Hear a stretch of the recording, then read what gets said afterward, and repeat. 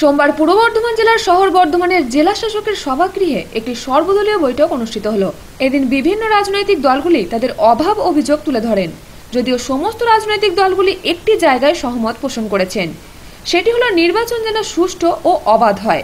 আমরা শুধু নয়, আমাদের রাজ্য দল, তৃণমূল কংগ্রেস, খুব বিচলিত এবং বিব্রত বোধ করছে যে এইভাবে নির্বাচন কমিশনকে বারবার ভুল ব্যাখ্যা করে মানে অন্য অনেক রকম ফেব্রিকেটের জিনিস করে একটা পশ্চিমবঙ্গের আইন শৃঙ্খলার পরিস্থিতি যে অবনতি হয়েছে এই কথাটা প্রমাণ করবার বারবার চেষ্টা করছে। আমরা প্রশাসনকে এই ব্যাপারে যথেষ্ট সজাগ সজাগ করি এবং সতর্ক রাখতে বলছি আরেকবার কাইন্ডলি দেওয়াল লেখা নিয়ে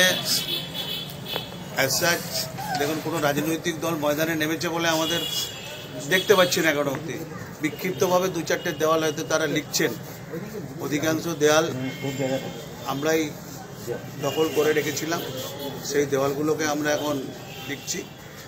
এবং নিহারদা যেটা বললেন, আপনারা শুনলেন যে দু একটা জায়গায় বিক্ষিপ্তভাবে কিছু ঘটনা ঘটাবার চেষ্টা করা হচ্ছে।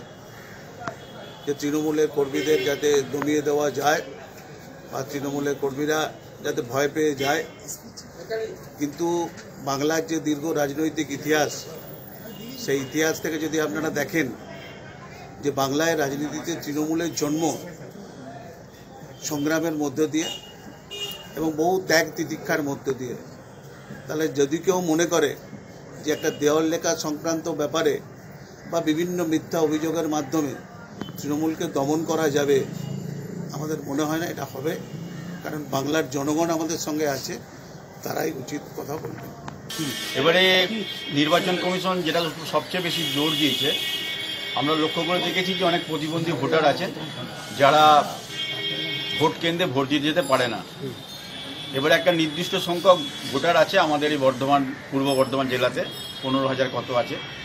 এবং সেটা যাতে হান্ড্রেড পার্সেন্ট হয়, তার জন্য নির্বাচন কমিশন চেষ্টা করছে, স্থানীয় প্রশাসনও চেষ্টা করছে, এবং আমাদের যারা রাজনৈতিক, আমরা যারা দল, সমস্ত দলের কাছেই অনুরোধ করেছে যে যাতে ওই ধরনের ভোটারদের কাছে অ্যাওয়ারনেস করা হয় তাদের সজাগ করা হয় তারা যাতে ভোট কেন্দ্রে পৌঁছতে পারে। এটা একটা নতুন উদ্যোগ যে উদ্যোগটা গত নির্বাচনে আমরা কোনোদিন দেখিনি। এছাড়াও রাজনৈতিক দলগুলি দেওয়াল লিখন নিয়ে বিভিন্ন অভিযোগ জানান। এবং বর্ধমান থার্টি নাইন বর্ধমান দুর্গাপুর লোকসভার অন্তর্গত যেখানে যেখানে আমরা ক্যান্ডিডেট আমাদের ডিক্লেয়ার না হলেও আমরা কিন্তু দেওয়াল লিখনের মাধ্যমে মানুষের কাছে প্রচার করছি, করতে চলেছি। এবং কিছু কিছু এলাকা আছে যেখানে আমরা আমাদের পূর্ব পরিকল্পিতভাবে তারা আমাদের রাজ্যের শাসক তারা আমাদের দেওয়াল দখল করে নিয়েছে। আর দেওয়াল দখলকে কেন্দ্র করে স্বাভাবিকভাবে কিছু রাজনীতি দলের সঙ্গে যেটা হয় সেরকমভাবে কিছু নয়। কেউ কেউ কোনো নির্দিষ্ট কোনো অভিযোগ থানায় করেনি। কিন্তু যেটা সমস্যা সেটা হচ্ছে এখন থেকেই একটা এলাকায় সন্ত্রাসের বাতাবরণ তৈরি হয়েছে। এলাকার মধ্যে একটা ভয় ভীতি তৈরি হচ্ছে। কারা করছে? এটা অবশ্যই রাজ্য শাসক দল। কারণ তারা জানে তাদের মাটির তলা থেকে তাদের পায়ের তলা থেকে মাটি ধীরে ধীরে সরতে শুরু করেছে। আর এখানে অলপার্টি মিটিং হয়েছে। অলপার্টি মিটিংয়ে আমরা যেসব রাজনৈতিক দল তারা এসেছিলাম। অলপার্টি মিটিংয়ে ডিএম সাহেব ইন্ডিভিজুয়ালি পলিটিক্যাল টিমের সঙ্গে কথা বলেছে। সেন্সিটিভ বুথ কোন বুথের সেন্সিটিভ এখনও পর্যন্ত হয়নি কিংবা দরকার আছে মনে করছে। জানিয়েছেন? আমরা অবশ্যই জানিয়েছি, কারণ আমরা জানি বাংলার বুকে আটাত্তর হাজার বুথই সেন্সিটিভ আমরা মনে করে দিয়েছি ডিএম সাহেবকে যে পঞ্চায়েত নির্বাচন কথা। আমরা এসপিকে মনে করে দিয়েছি যে আপনাদের উপস্থিতিতে পঞ্চায়েত নির্বাচন, বিধানসভা নির্বাচন।